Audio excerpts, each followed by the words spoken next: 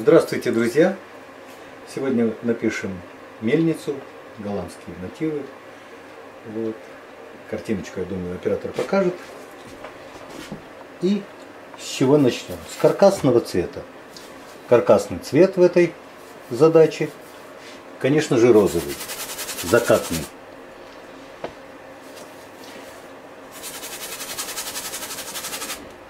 Полностью избавимся от белого холста розовым цветом. Почему розовым, а не рыжим или желтым? Розовый, смешиваясь с синим, который нам предстоит загнать, становится фиолетовеньким, что вполне уместно. Розовый, смешиваясь с желтым, становится а, оранжевым и вплоть до желтого э, у линии горизонта. А вот если желтый будет вот здесь мигать, то он позеленеет, потому что синий даст зеленый оттенок. Поэтому разумно поступить, начать с розового.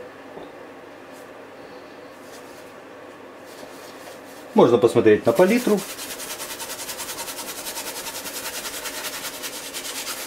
Угу. Замес небольшой, разбавителя совсем чуть-чуть. Ну такая сметана даже немножко густенькая сметана.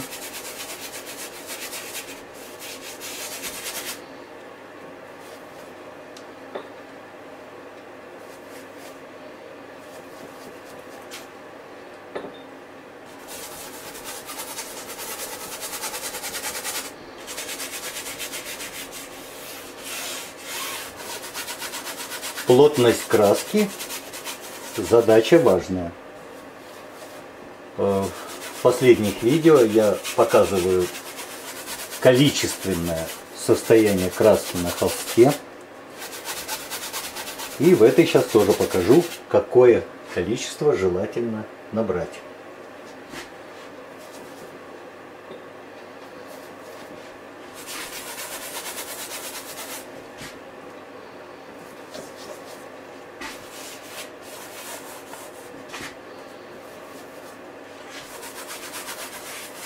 Степень темности вы видите, да, это степень темности неба вот на средней линии. То есть здесь мы будем высветлять, здесь мы будем утемнять. То есть какой розовый? Вот такой. Как на средней линии между рыжим и голубым. То есть это степень темности.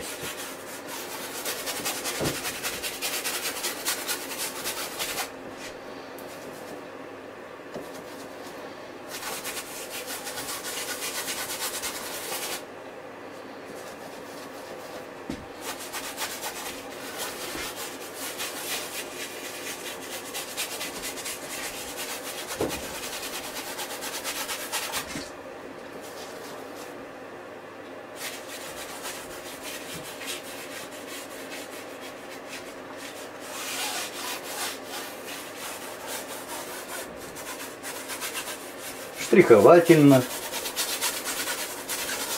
набираем. И вот количество. Количество должно быть таким, что когда вы захотите придавить вещество, было бы что придавить. Вы видите, появляется излишек. Вот количество должно быть таким, чтобы от удавливания, не от бритья, а именно от удавливания происходило появление излишка. Вот у меня недостаточно получилось набрать. Есть места, которые не дают излишек.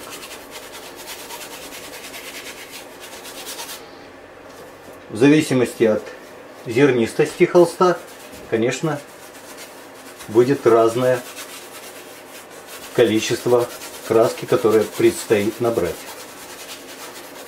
нам выгодней средняя зернистость и с тенденцией к мелкой зернистости. Еще раз. Вот вы видите сейчас с обеих сторон этой пахоты появляется излишек, который я сдаю на палитру Обратите внимание, куда. Не сюда, чтобы потом все это попало на одежду, а вот сюда. Или даже бы мог сюда. Но ни в коем случае не, чтобы потом думать о картине, а не о том, как бы не перепачкаться.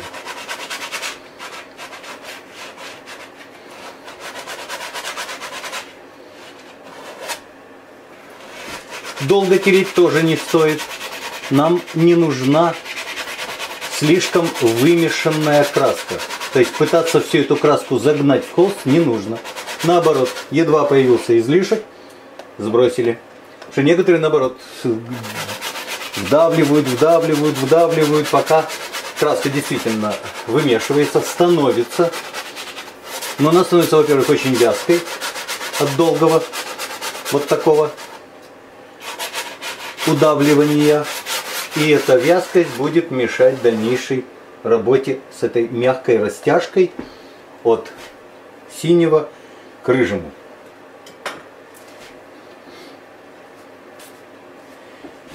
Теперь, как более уязвимый цвет, мы возьмем желтый. Синий, конечно, не такой уязвимый.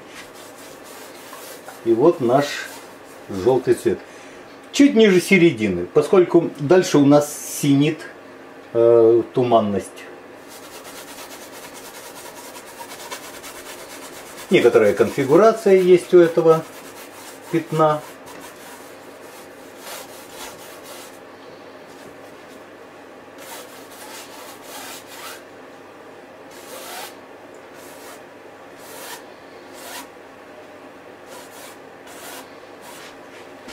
Чуть-чуть можно и кадмий красный поддавить на палитру и задействовать его рыжее свойство.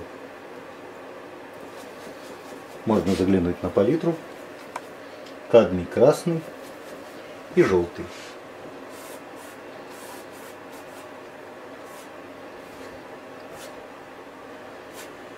Чуть-чуть их.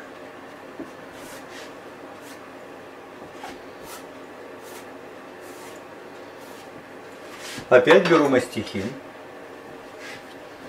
и опять удавливаю вещество, сбивая, сдавливая его на палитру.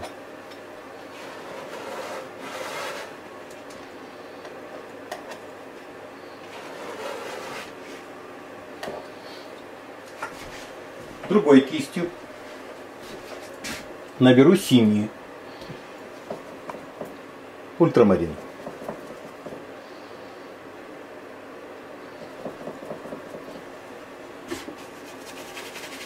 Красочку я уже не разжижаю, поскольку влаги на холсте достаточно, чтобы выполнить эту задачу.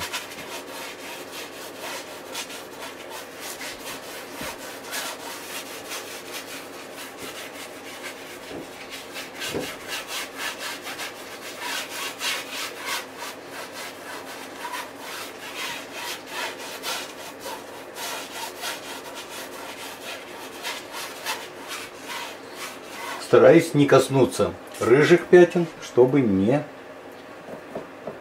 не позеленело небо.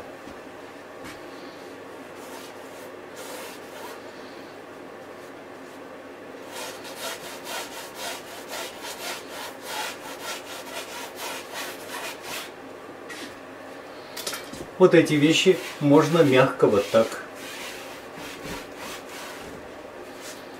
распределить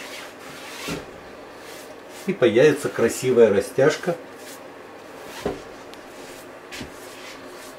из одного цвета в другой. И, наконец, вдоль линии горизонта синий чуть-чуть с розовиночкой –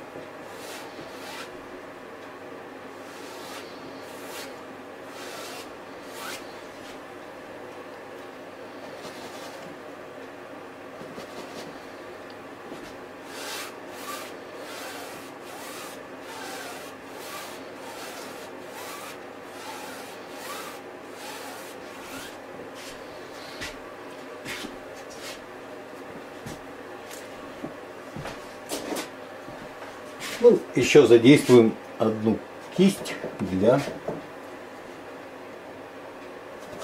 розово-рыжих утемнений вот в этой местности.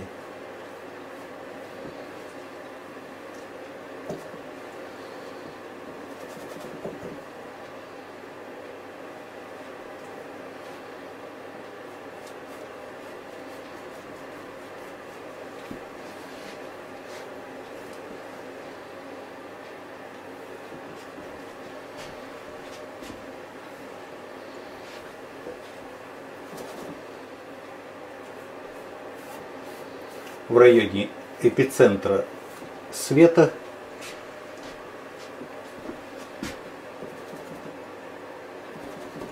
усилим идею именно красного. То есть кадмий красный, его звучание здесь усилим.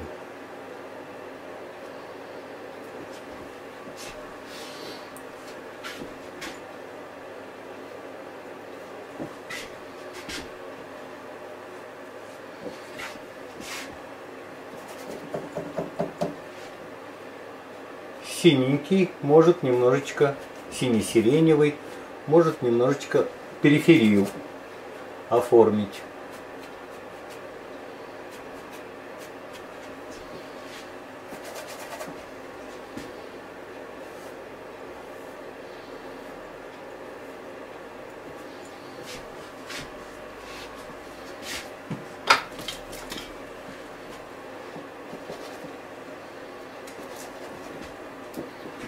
Все это и в отражении дадим.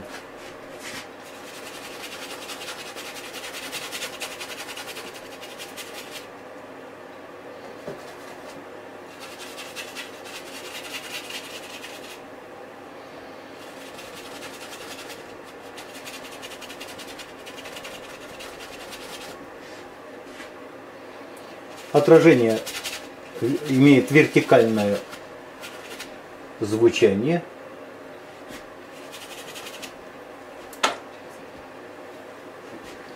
Здесь тоже рыженький. И тоже рукой можно дать эту полосатость.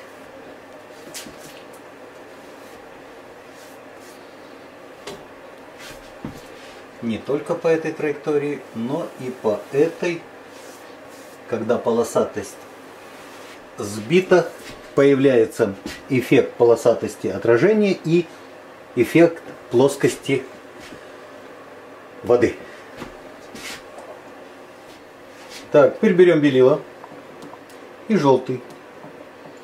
Смотрим на палитру, мастихином, замешиваем. Небольшой замес.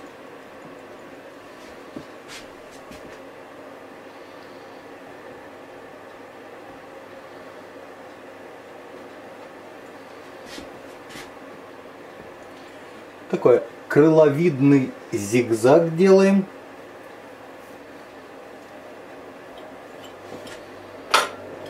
Что-то сделали большим мастихином, что-то сделаем маленьким. Уже не такой яркий дадим цветик.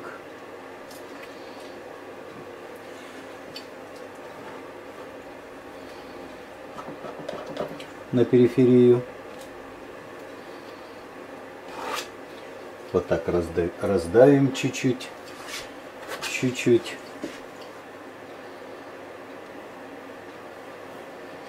Чуть помоделируем.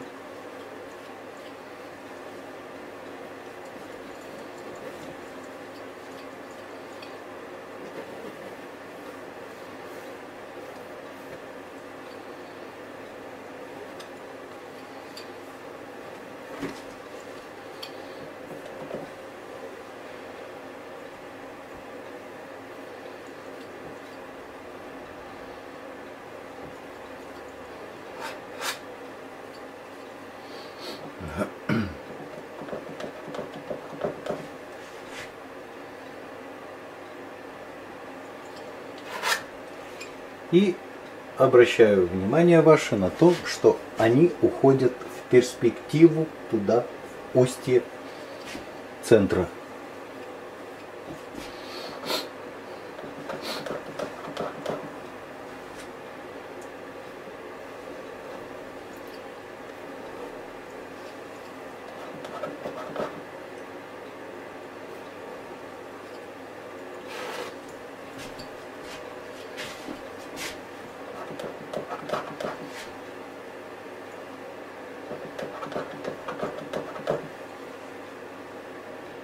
Немного и здесь тоже.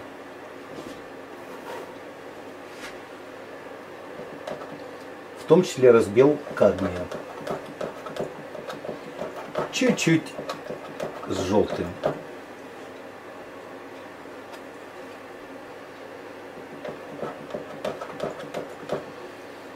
Кадмия красного.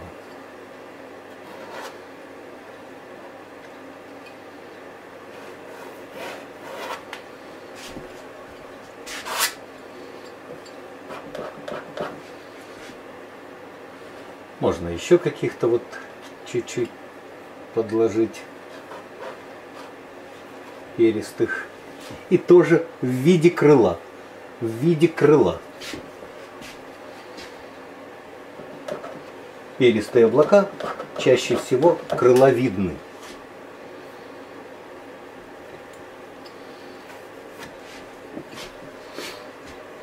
Особенно, когда они вдали. То есть, вот они когда, когда мы на них смотрим, они в растопырку, а потом они становятся зигзагом крыла подобным.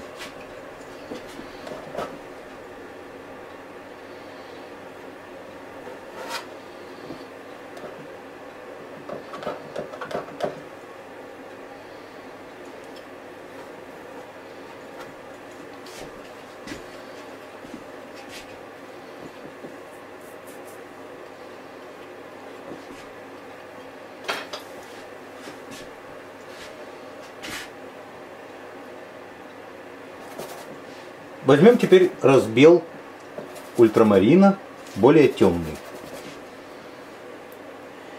Э, линия горизонта внятно ниже середины. Внятно. Но с ней лучше быть поделикатнее. Лучше начать ее чуть ниже и потом поднимать, чем потом ремонтировать небо. Поэтому постарайтесь начать от той линии, вот скажем от этой линии, где точно проходит трава. Я забылся и стал класть по, по верхней кромке. Забылся, что, что я не себе пишу, а для вас. Вот. И имейте в виду, что лучше начать с того места, где точно проходит трава. Мало того, весь этот травяной участок можно набрать пока только через синий. Поскольку он тенист с одной стороны и зелен с другой стороны. То есть, а зелень это голубой плюс желтый, то мы можем все это пока сделать с помощью синьки. Не нарушив гармонию цвета в картине.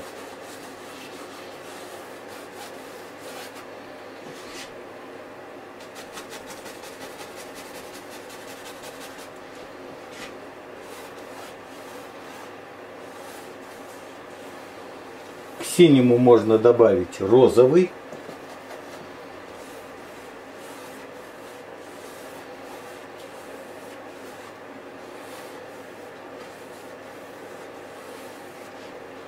То есть это мы рисуем самый дальний план.